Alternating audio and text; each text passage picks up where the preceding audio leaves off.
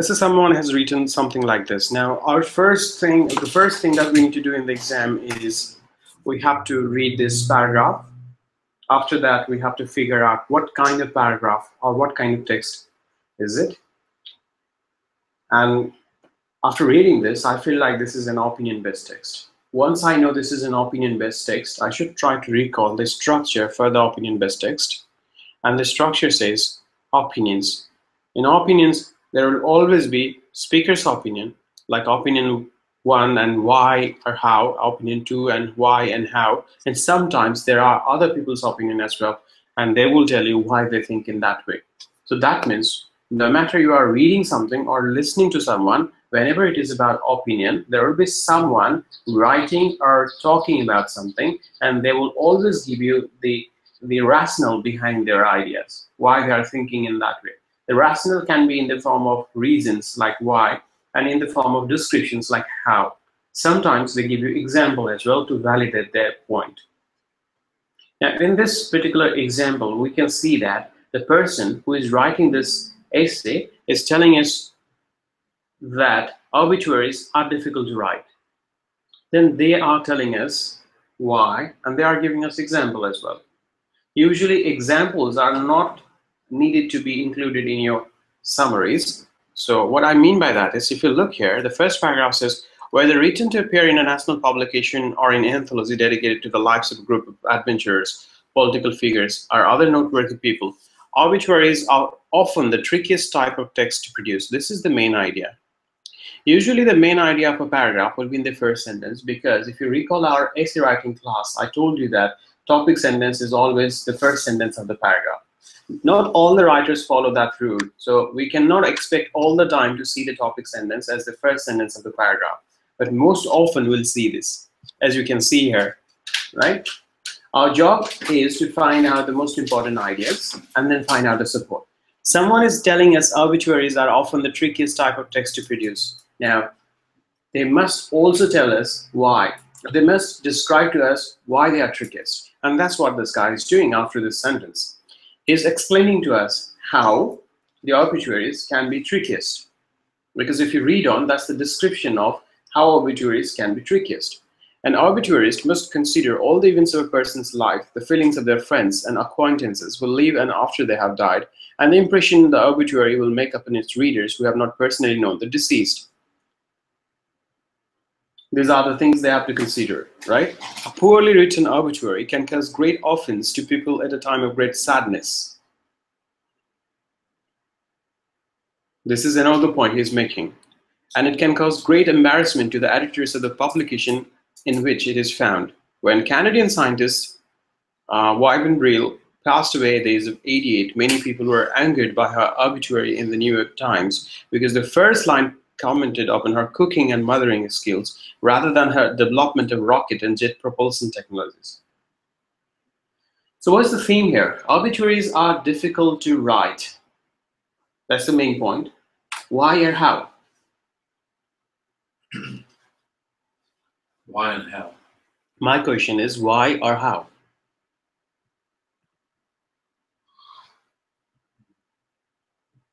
Do you see the two reasons or the two explanations the writer is proposing there? Because you are supposed to include all the important events that F that will satisfy that will satisfy the um, acquaintances and friends as well as the people who did not know the deceased. Right? Yeah. Otherwise, what happens? They feel embarrassed. And the question is, uh, why is that hard? I think the obituary person known as a deceased. He doesn't know the person either. So what they're saying is, when you're writing the obituary, you have to make sure that people who do not know the person also are aware of the deceased.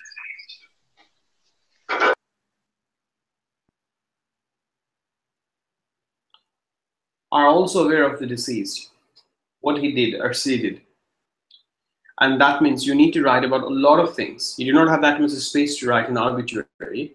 You need to write a lot of things. If you do not write properly, people will feel offended, and then your your magazine, your newspaper will have to bear the humiliation from the others because many people will criticize you for not doing your jobs properly.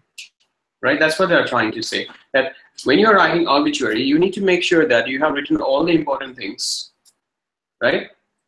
But you do not have that much space to write.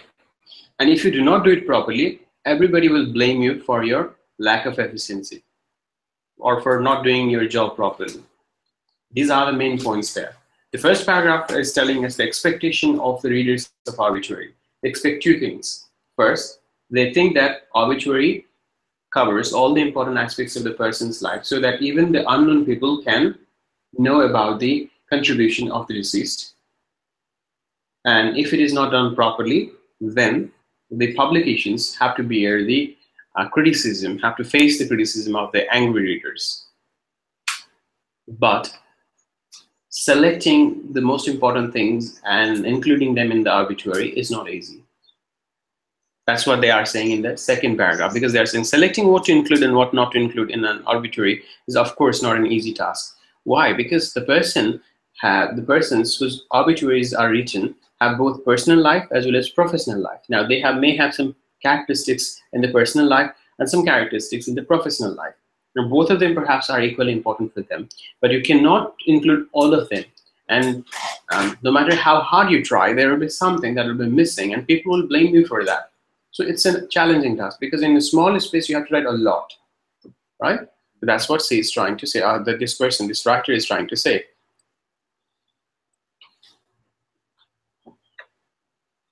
Now, you need to write a good summary, including these points.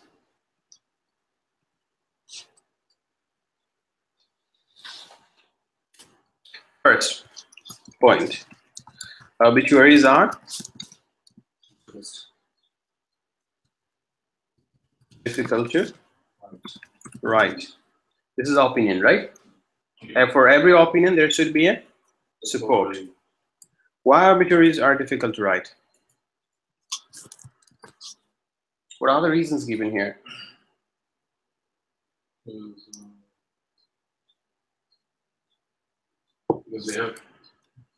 It should contain enough details for both acquaintances acquaintances and acquaintances means people who know the deceased and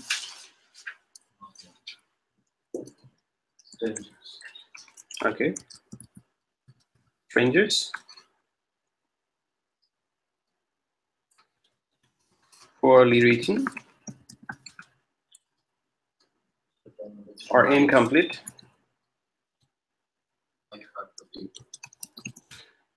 Obituary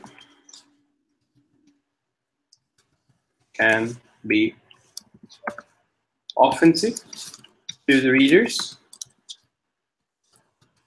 and may cause embarrassment to the editors or publication.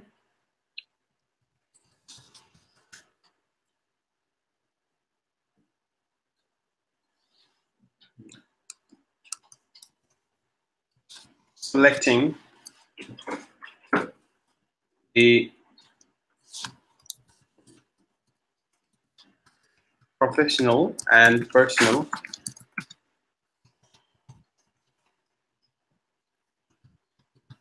achievements of people is not an easy task. Are these the three important points so far? Yeah.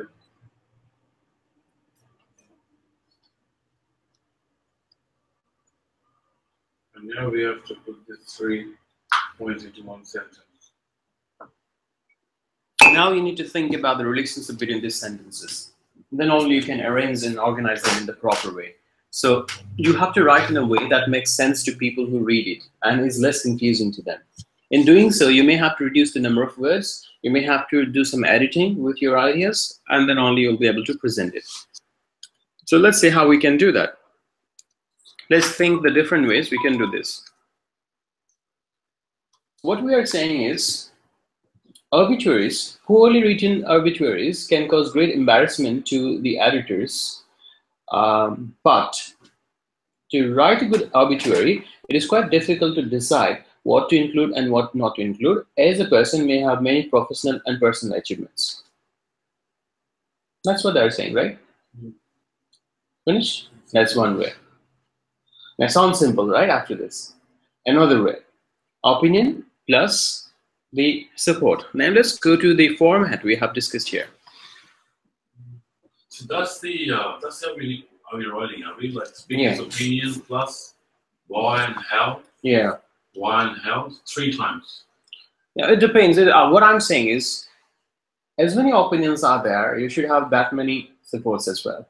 If there is only one opinion, then there will be maybe maybe two, three, four supports. But if there are two opinions, you have to write both opinions and supports for both opinions. If there are three opinions, then you have to write all the opinions and all the supports. That's what I'm saying.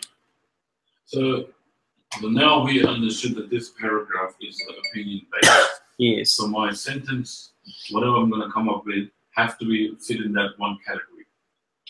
Yes, I, I I should try to write in that way because um, then it becomes easier for me to produce my work.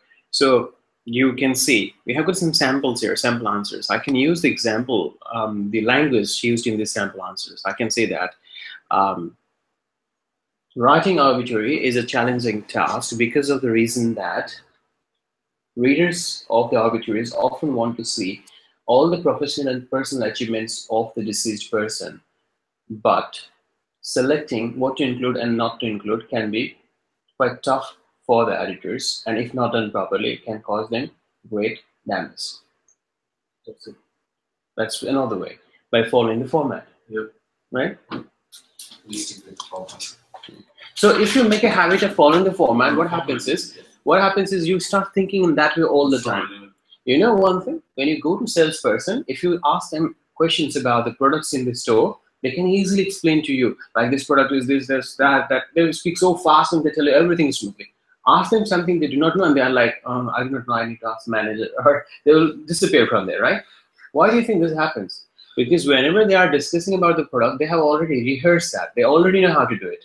You ask something new, then they have to think again, and that needs time. And that's why they disappear from there. It's the same thing here. If you start trying different different styles for different different questions, then you will not develop that skill to um, you know present your information in um, concise manner in the given time. But if you tend to follow like this is the opinion question, I will change this answer to my format, and all the time if you do that, after some time you will feel it quite convenient, quite comfortable to write in that manner.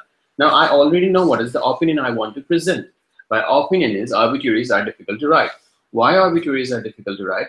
Poorly written obituaries can cause great embarrassment um, to the editors of the publications, but um, but writing obituaries that is um, that is satisfactory to both uh, the acquaintances and strangers, and including all the personal and professional details, or, or selecting um, from the personal and professional achievements of the person is not an easy task because of these reasons, right?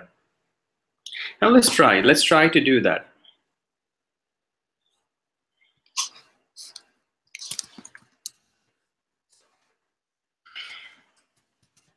Obituaries are difficult to write because a good obituary should be able to present the most important information and events of the deceased in a way that both strangers and acquaintances um, I forgot the spelling on this. Acquaintances. Let me finish this. Acquaintances, both the strangers and acquaintances can feel satisfied. However, now I know however cannot be written here. If I want to write however, always remember this. Colon however, comma. Otherwise, write just comma and but. We want to write however, colon, however, comma. Okay. Obituaries are difficult to write because a good obituary should be able to present the most important information and events of the deceased in a way that both strangers and acquaintances feel satisfied. However,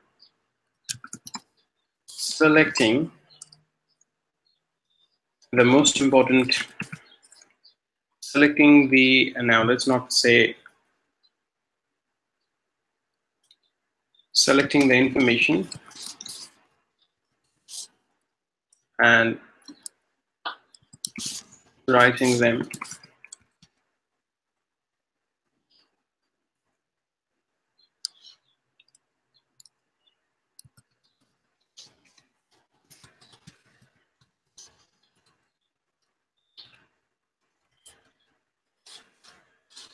in a manner non-offensive to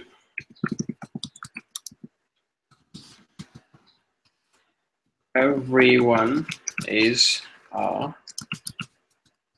challenging task. Did we summarize everything now? Obituaries are difficult to write because a good obituary should be able to present the most important information and events of the deceased in a way that both strangers and acquaintances feel satisfied. However, selecting the information and writing them in a manner non-offensive to everyone is a challenging task. Did they say the same thing?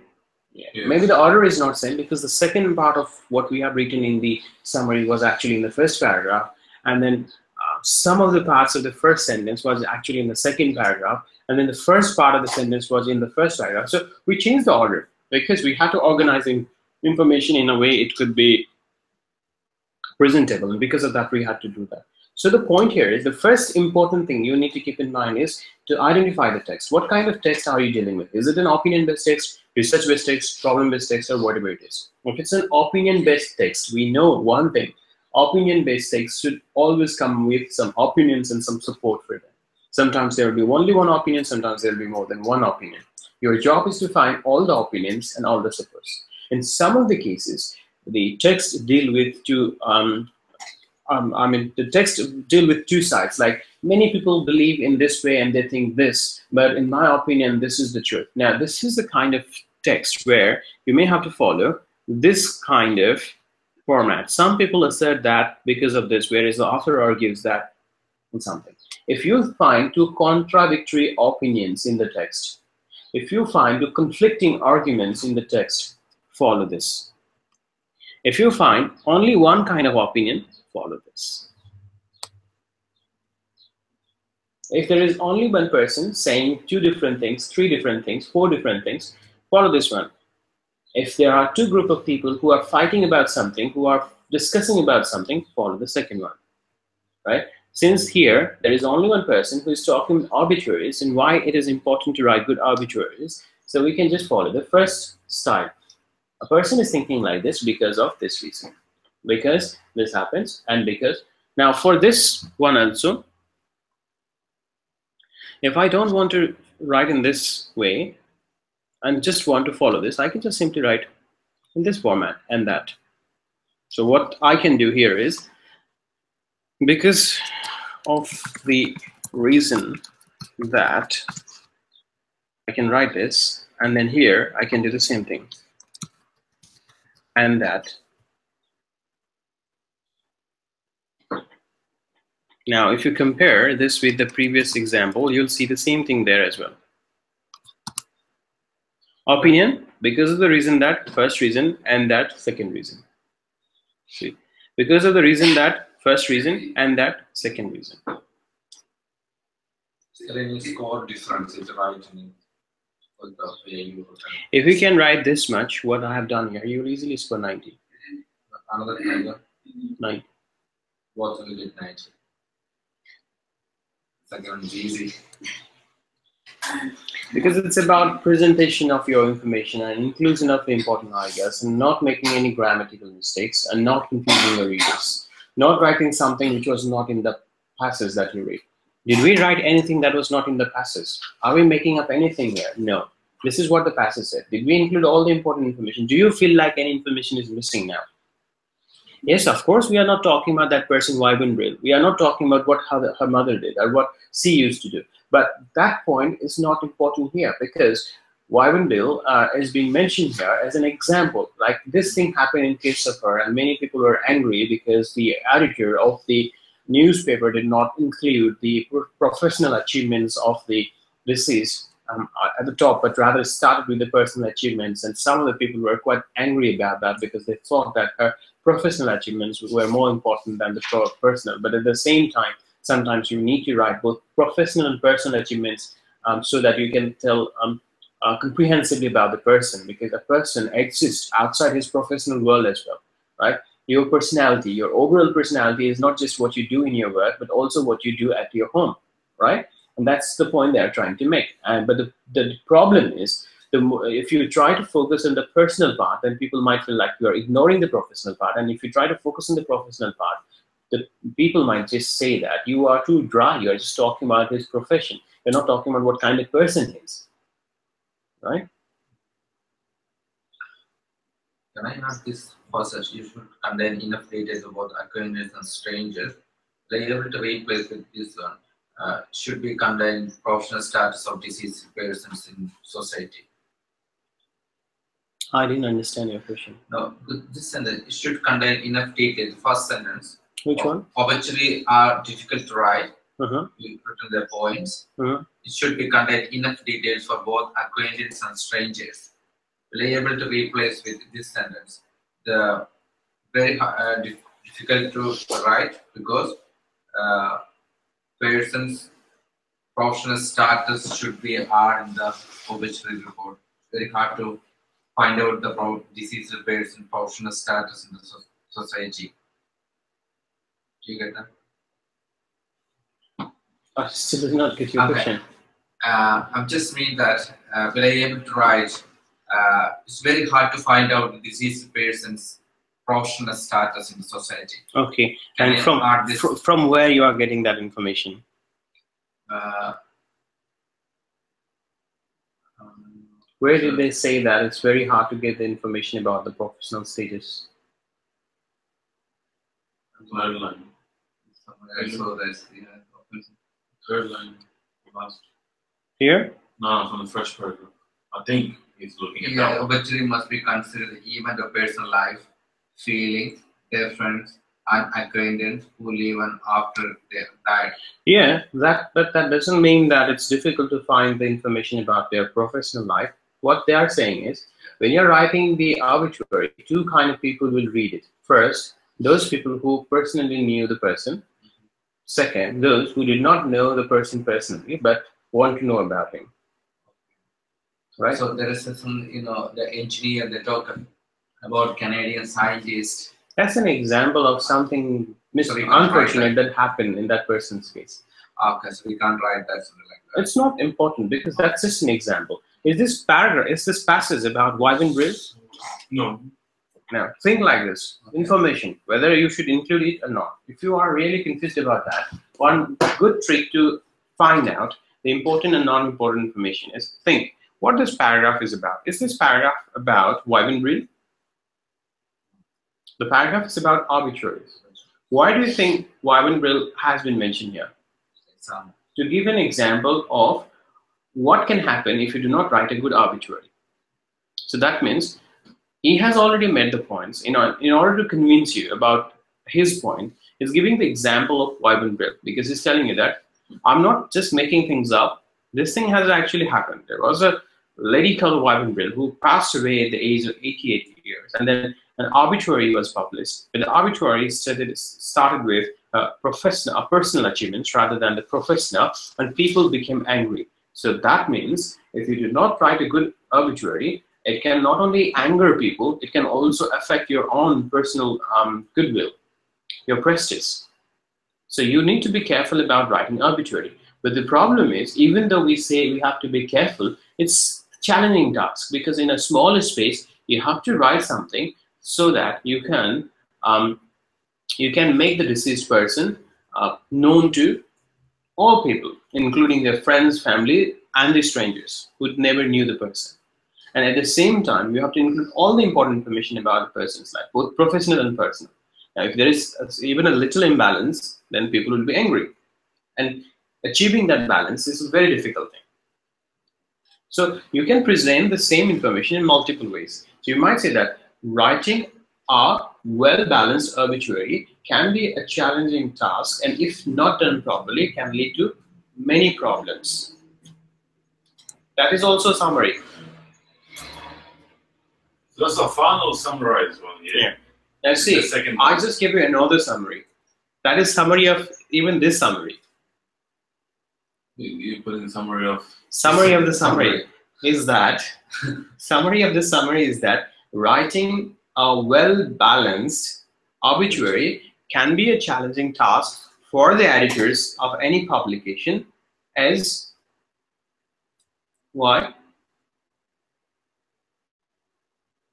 as selecting and discarding information and maintaining the professional reputation is quite hard when you are dealing with this type of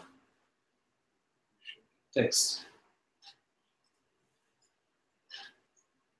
The, the first one what we have come up with is is the um, it's a points. Yes. And that's what we should be getting out of Yeah. it. And Yeah. then uh, looking at those three points Hmm. where you're gonna finally write this statement. Yes. Whatever you understood after that. If You should present it, and if you are not sure how to present it, you can take the help of the template that we have created for our practice. Which one though? The one at the top. You can read them. When you go back home, you can read your notes and you perhaps will get an idea about how you can present your information in that manner. I was saying if you, if you can scroll all the way out, um, it says why, how opinion two, and then why, how others opinion Okay, I'll make it easy for you. It's like this.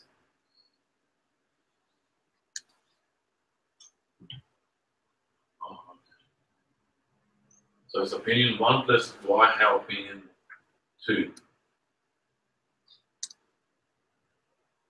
No, it's- Make sense now? yeah, opinion one, opinion two. That's speakers. Yeah. And, And if there is um, there is um, any mention of the other people who are talking about the same topic, then you can include their opinions as well. But in doing so, you have to follow this kind of format. You have to say that some people are believe, um, arguing this thing, and the author of this paper is arguing something else.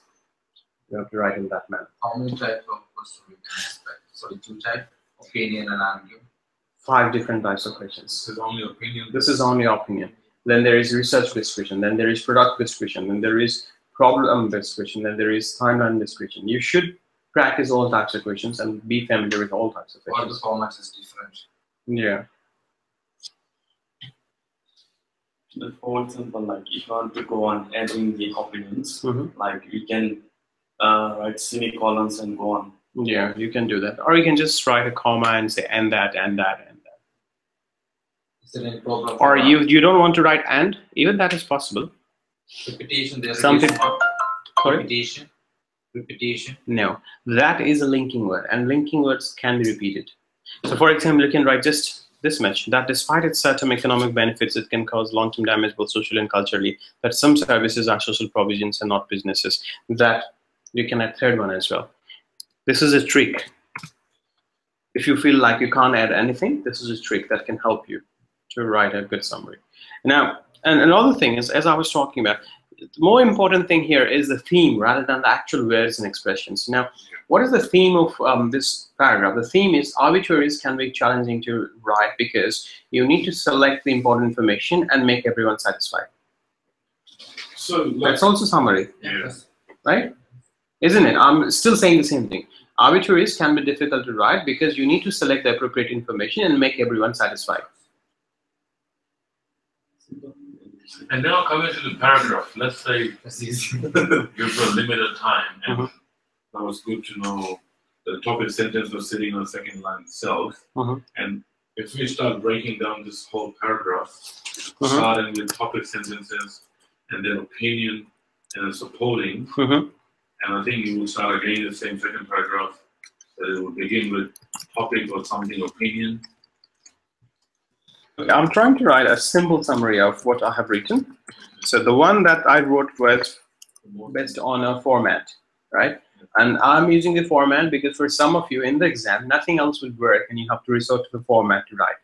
Because you will not be able to think properly and you will not be think, able to think freely in the exam. We all know that.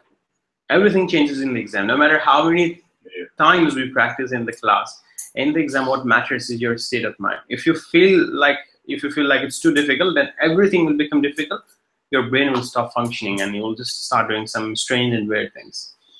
But is there a way to write a good summary of this types of text? Yes, just based on your understanding. Now, there is a theme you have achieved here that obituaries can be difficult because you need to write out the information that can satisfy all types of readers, right? That's actually a summary of this paragraph, isn't it? Simple words. Isn't it? If there's any problem, No, small words or something. no, it doesn't matter. If you have included all the important It's no information, it should not be less than five, but as long as it's more than five and you have included all the important information, you'll still score nicely. So I'll write a very simple summary here. Obituaries can be difficult to write as they need to be comprehensive, it satisfactory to all types of readers. This is a summary. Yes, yes. It's still, it's still, it's this sentence is also saying the same thing. Comprehensive means covers everything, but satisfactory means everyone should be happy. Otherwise we can add something. Still get nine like Yeah. If you check the sample answers given by Pearson, most of the summaries are this are, are of this type, one line. one line summaries. But see, th- there is a saying in English like writing simple is more difficult. Sure. This one sounds so easy, right? But this sound sounds so easy, but remember, we have already spent more than half an hour talking about this. To come to oh. this stage, we have already spent more than half an hour. In your exam, you just have 10 minutes.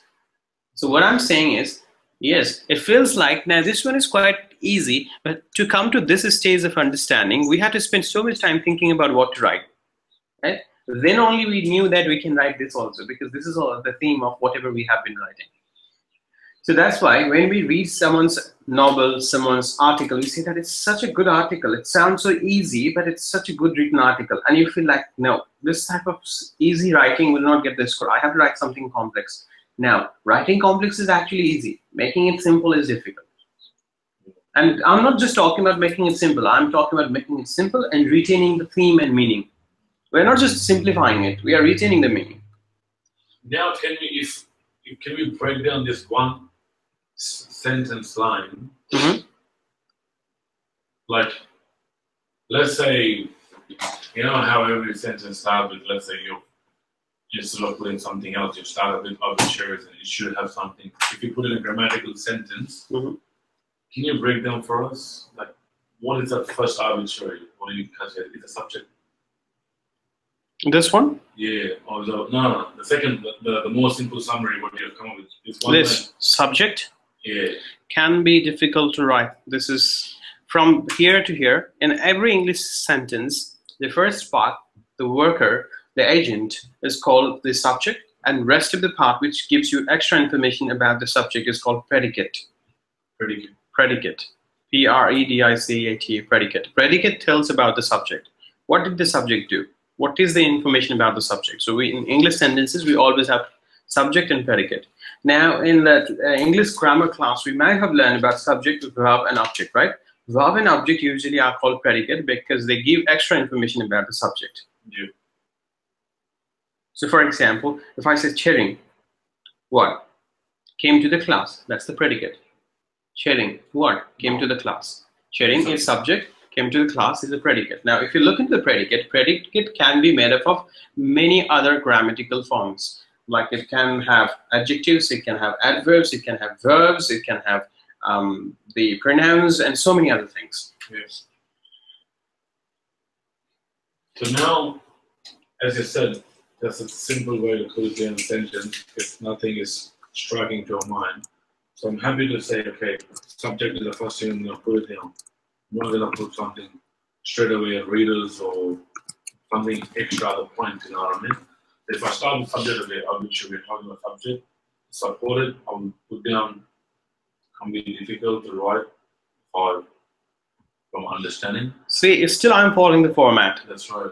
Obituaries can be difficult to write. Opinion, what is the reason?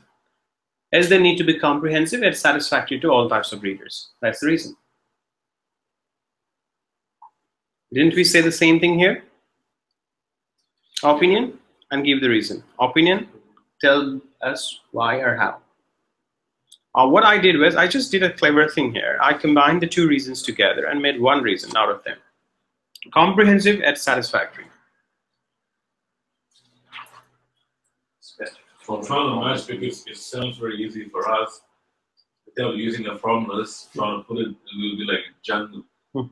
Everything will be like jumbled, you know. Now let's try the second one. Let's try to do the same thing. we are putting examples. I don't know why I'm putting examples. Yeah, that's that's the tendency of the students to do. Like they